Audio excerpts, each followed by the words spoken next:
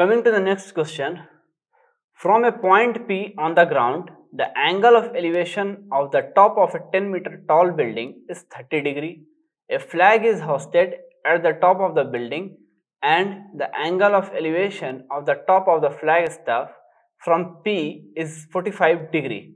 Find the length of the flag staff and the distance of the building from the point P.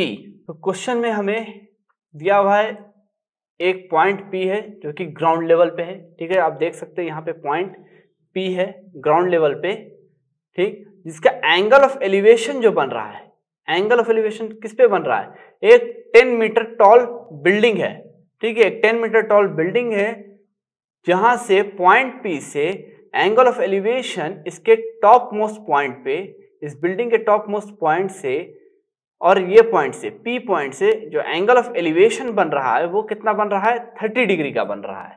ठीक है? उसके बाद जो second part है हमारा क्वेश्चन का, वहाँ दिया हुआ है a flag is hoisted at the top of the building एक फ्लैग जो है हॉस्ट किया गया है एक टॉप ऑफ़ द इस टॉप ऑफ़ द बिल्डिंग से। आप देख सकते हैं, यहाँ पे एक फ्लैग हॉस्ट किया गया है, ये बिल्डिंग के टॉप से। ठीक है? और सेम पॉइंट इसी पॉइंट पी से जो एंगल ऑफ़ एलिवेशन निकल रहा है किस किससे? टॉप ऑफ़ द फ्लैग तक। ये पॉइंट P से जो एंगल ऑफ़ एलिवेशन जा रहा है टॉप ऑफ़ द फ्लैग तक, ये कितना जा रहा है हमारा? 45 डिग्री का हो रहा है। ठीक है?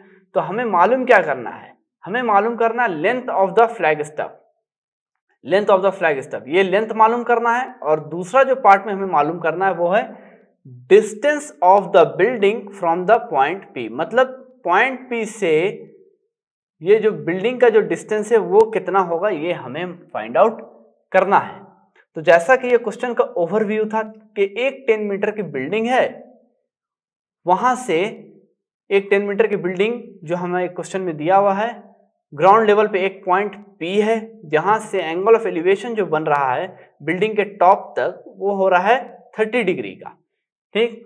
उसी बिल्डिंग के सेम बिल्डिंग पे एक फ्लैग होस्ट किया गया है और angle of elevation same point से, उसी पॉइंट से पी पॉइंट से, जो फ्लैग का टॉप तक का जो एंगल ऑफ़ एलिवेशन जो बना हमारा, वो कितना हो गया? 45 डिग्री देख तो इस क्वेश्चन में हमें पूछा गया है कि फ्लैग स्टफ़ का लेंथ कितना है? ये लेंथ पूछा गया है। दूसरा बिल्डिंग का डिस्टेंस ये पॉइंट पी से कितनी दूरी तक का है?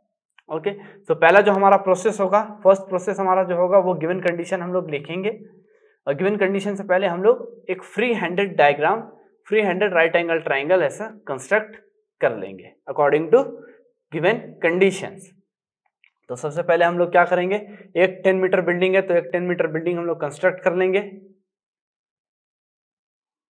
सपोज़ ये एक 10 मीटर बिल्डिंग है। ये हमने कंस्ट्रक्ट किया। फ्री हैंडेड कंस्ट्रक्ट कर रहे हैं, ठीक है? ये एक टेन मीटर बिल्डिंग है।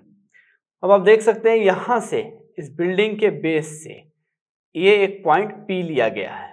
ये बिल्डिंग के सपोज़ ये बेस से, यहाँ पे एक पॉइंट मैं मार्क कर देता हूँ, जो कि पी है।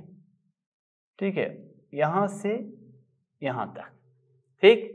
ये बिल्डिंग से, ये बिल्डिंग का बेस हो गया। यहाँ से ये पॉइंट पी हो गया, इसका डिस्टेंस हमें पता नहीं है और वो हमें फाइंड आउट करना है, ठीक?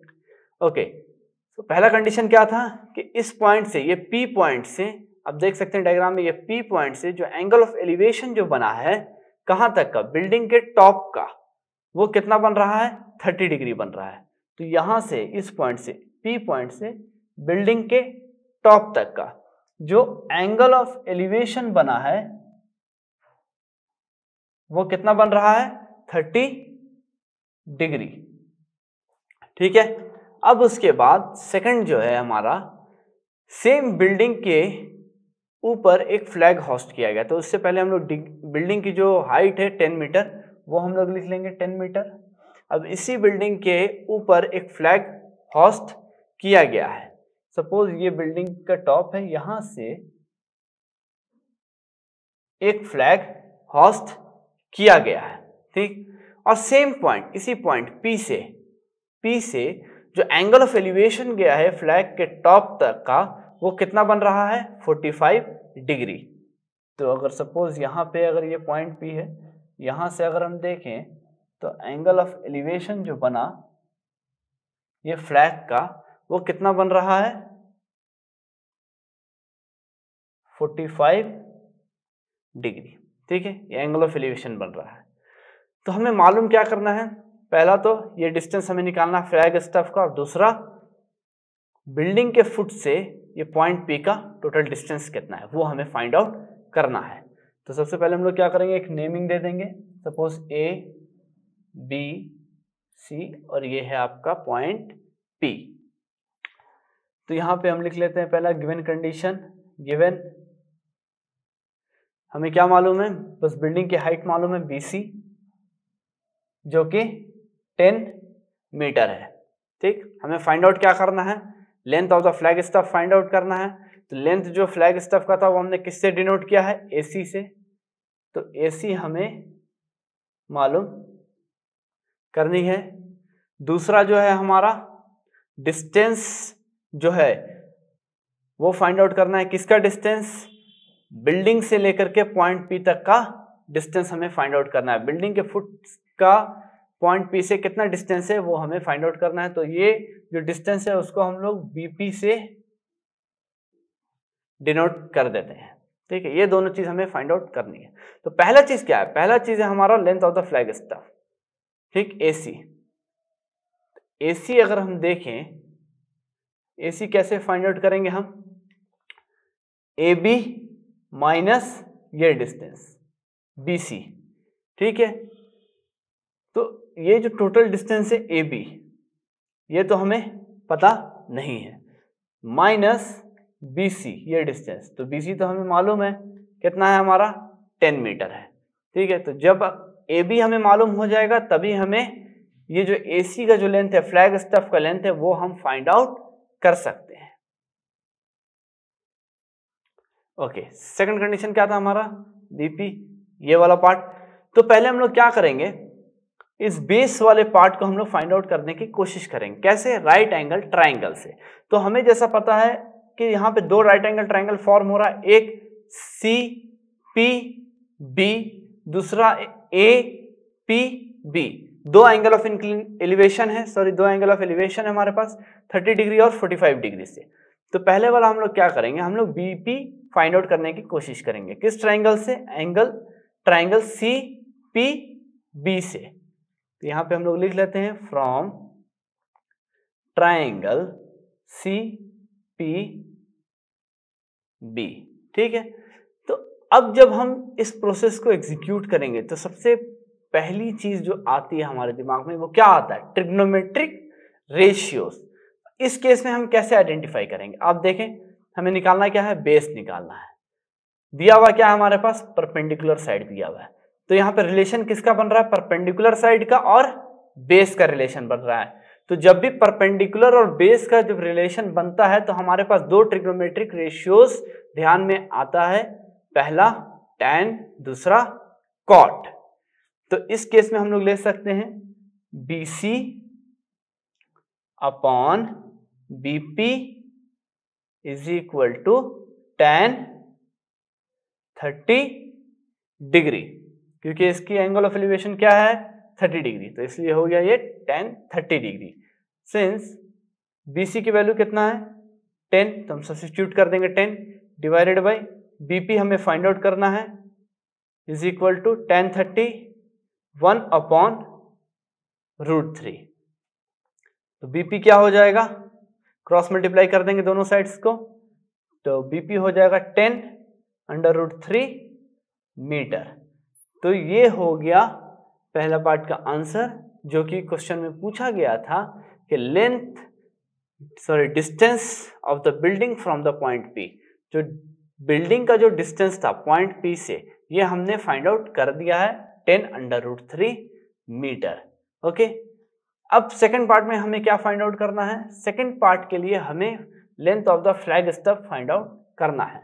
तो length of the flag staff के लिए हमने पहले इक्वेशन लिखा हुआ है A B minus B C यहाँ पे हमें ए बी की वैल्यू मालूम नहीं है। तो हम क्या करेंगे? पहले ए बी की वैल्यू मालूम करेंगे। अब हम क्या करेंगे? सबसे पहले हम लोग सेकंड ट्राइंगल अब लेंगे ट्राइंगल ए पी बी और यहाँ से चेकआउट करते हैं कैसा रिलेशन बनेगा।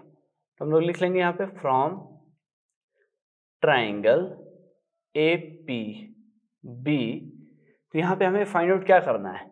यहाँ पे अगर आप देखें, हमें ए सी के लिए हमें ए बी निकालना ज़रूरी है। तो ये हो जाएगा आपका परपेंडिकुलर साइड ए बी ये हो जाएगा आपका बेस साइड बी पी तो जैसा कि अभी हमने पहले निकाला है बी पी क्या निकाला हमारा? Ten under root three metre और परपेंडिकुलर साइड क्या है हमारे पास? ए बी तो अगेन परपेंडिकुलर साइड और बेस का रिलेशन आ रहा है, जो कि हम टेन थीटा से डिनोट कर सकते हैं। तो ये हो जाएगा A B upon B P is equal to tan इस पर कौन सा एंगल बन रहा है? 45 डिग्री ठीक है? तो ए बी क्या हो जाएगा हमारा? B P into tan forty degree की वैल्यू हमें पता है क्या होता है? वन होता है। Since A B is equal to B P की वैल्यू कितनी थी हमारी? Ten under root three metre into one, जो कि ten under root three metre ही आएगा ए बी का वैल्यू ठीक है? तो अब हमारे पास रिमेनिंग पार्ट क्या बचा है? ए सी जो कि length of the flag staff है। तो ये ए सी क्या हो जाएगा? A C is equal to जैसा कि हमने इक्वेशन लिखा है A B minus B C ये ए बी पूरा पार्ट माइनस बी सी जो कि बिल्डिंग का हाइट है। तो अब ए बी क्या मिला हमें? Ten under root three minus B C B C क्या है हमारे पास? टेन मीटर ये हो गया ten means A C overall A C क्या निकल जाएगा? टेन कॉमन ले लेते हैं हम। ये हो जाएगा under root three minus one whole metre ठीक है? तो यहाँ पे आपने देखा सबसे पहले हमने क्या किया? सबसे पहले जो डिस्टेंस बिल्डिंग का इस पॉइंट पी के साथ था, वो हमने फाइंड आउट कर लिया, ठीक है? उसके बाद सेकंड पार्ट में जो हमें length of the flag staff मालूम करना था ए सी तो उसके लिए हमने जब नोटिफाई किया तो क्या मिला हमें? A B minus B C तो ए बी की वैल्यू तो हमें पता नहीं था तो इसलिए अगेन हमने दूसरा ट्राइंगल लिया ट्राइंगल ए पी बी और यहाँ से हमने निकाला ए बी का पूरा डिस्टेंस जब ए बी का डिस्टेंस हमें मिल गया तो अगर ये फिगर को आप देखेंगे तो ए सी का जो डिस्टेंस निकालना था हमें, उसका क्या हो जाएगा? Value A B minus B C तो जब दोनों वैल्यूज़ हमें मिल गए थे ए बी और बी सी हमने यहाँ सब्सिट्यूट किया और ए बी का डिस्टेंस निकाल लिया।